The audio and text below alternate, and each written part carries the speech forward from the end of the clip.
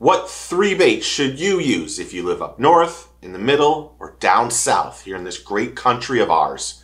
That's what we're going to talk about right now. So this is one of the most fun videos I have every month. I love doing the research, talking to people, and then hearing what you use and what you are using at this point. So if you like this, leave a comment, hit the subscribe button, become part of the team and family. I really do appreciate it. Well, it's June, and up north you're fishing, in the middle it's getting hot, and down here it's hell. But this is also a time when the fishing is really good, but you need to watch for weather conditions, barometer drops, and the temperature of the water. This is also a time in those middle and lower in southern states where the fish metabolism is going to be at its highest. They will move off and grab baits. They will be, you can work baits faster. You can do little subtle changes in your retrieval and catch more fish. But again, hopefully everyone's fishing and down here in the middle of the country, you're through the spawn, you're post spawn. Maybe way up north, in the way, way up north, maybe you're dealing with spawning largemouth or just after post spawn. And water temperature is crucial right now. If you're way up north, finding that little bit of temperature drop, that thermocline, will help you catch fish. They're looking to catch some relief. They want to find shade and they want to go under docks and they want to get in grass. They want to do something to not get beat up by the heat. Which brings me to my first thing. Make sure you stay hydrated and put on sunscreen. It's crucial right now. And you don't want to take, you don't want to have problems later on in life. So stay hydrated and put on that sunscreen or get some sort of SPF shirt. So start paying attention to shaded areas and temperature drops and areas like that. Places where fish are going to be able to ambush those forage fish and start speeding up your retrieval. Make those casts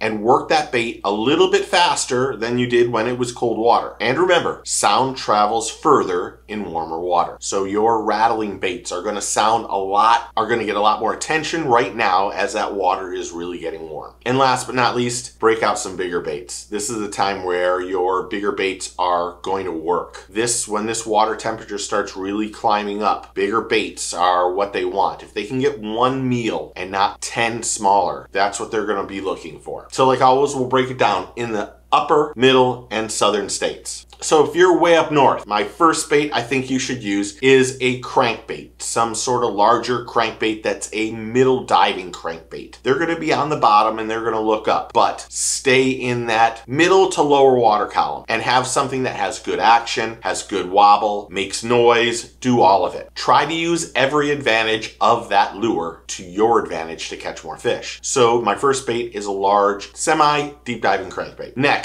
if you're fishing up north, my second bait bait I think you should use is a football jig with some sort of creature trailer on it. You can, there's all sorts of them out there. There's great ones and there's terrible ones, but quite honestly, I tried to stay away from giving you a specific, but I'll put a picture of one that's on there. But a fo football jig is going to get to the bottom, and that creature trailer is going to make it have a little bit more bulk. And that bulk is what they're looking for. Crayfish, crawfish, however you say it, they are looking to eat those as much as possible right now. And this is a time when that molten phase of a crawfish could be happening for you. So my second bait is a football jig with a creature trailer. My third bait is a top water bait, but not like a whopper plopper. I mean, just a top plopping bait. One that you can make a cast and just get that goonk and have it stop. Now, in most cases, I'm telling you to speed up, and I think speeding up your retrieval is very important right now. But this is a point where you want to look like a wounded, dying fish and making that gulp or that goonk noise as you make your fishing rod twitch, and then pausing it and letting the water waves go away. And by that, I mean you hit that bait and you'll get those water waves, and as it slowly moves away. As it gets four or five feet away, twitch your rod again and get another one. It's not to be worked drastically fast. I will say if you're not getting the bites or not finding the bites, start to do that twitching a little bit faster and making it walk a little bit more. But those are the three baits I think you should be using if you're way up north. Now the three baits I think you should use down in the middle of the country. The first one is a topwater walking frog. No question about it. You're going to start seeing a lot of grass on top of the water. You're going to see you're going to see frogs spawning or having babies.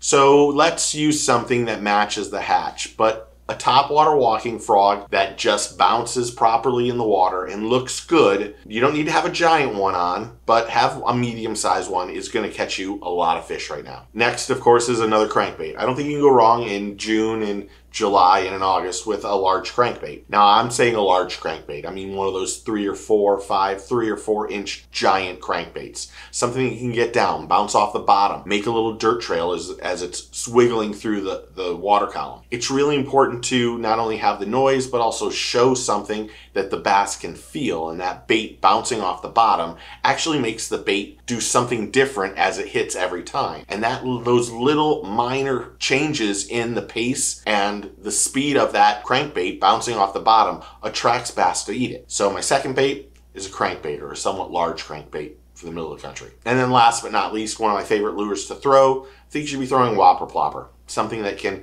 you can hear that chugging sound as it's coming across the water. It's a good search bait to find fish, but more importantly, it's a bait that they're going to hear and feel as you make that cast. They're going to see it, feel it, and hear it. And those are the three things you want. And a whopper plopper is really, really good this time of year. So those are the three baits I think you use in the middle of the country. Last but not least, if you're down south like me, you're in hell. It's hot.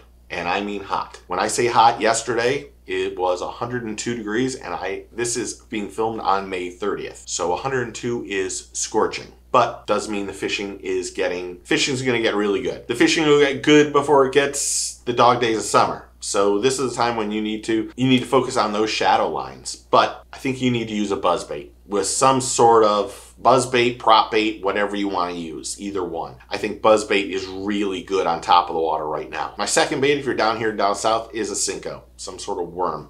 You can Texas or Carolina rig it or Neko rig it is how I do it. Put a weight in the front and let that bait just flutter through. Now for me, I'm targeting areas that are grass and then open water. I want to be right on that edge or inside the slop. If you're not fishing inside of it, you're not catching fish. There will be fish roaming outside of the in clear water, but or cleaner water. But what they're trying to do right now is they're trying to ambush that bait. And with it being so hot, they want to find something to hold to, something that gives them some life. Early in the morning is a great time to fish. Also in the evening too, when that shadow gets perfect and there's a slight change in that water temperature, they'll move up and eat but a Senko is my favorite bait. Really my favorite bait I'm using right now. And last but not least, I'm gonna throw a large swim bait and I'm talking large, five, six inch swim bait. You can use a large glide bait. You can use a large soft plastic uh, swim bait. You can use anything that you want, but a bigger bait is really attractive to bass right now because the shad are getting a little bit bigger. They're also looking for an easier meal. And those slower glide baits as they glide back and forth effortlessly and make those S turns in the water look really enticing and look like something that's an easy prey that the big fish will want to eat. So my third bait is a giant swim bait. So there you have it. Those are my three baits I think you should use up north, the middle, down south. What three baits are you going to use? I'd love to hear in the comments below. But thank you for hitting that like and subscribe button. Make sure you take a kid fishing, get your fish on. I will talk to you very soon. Cheers.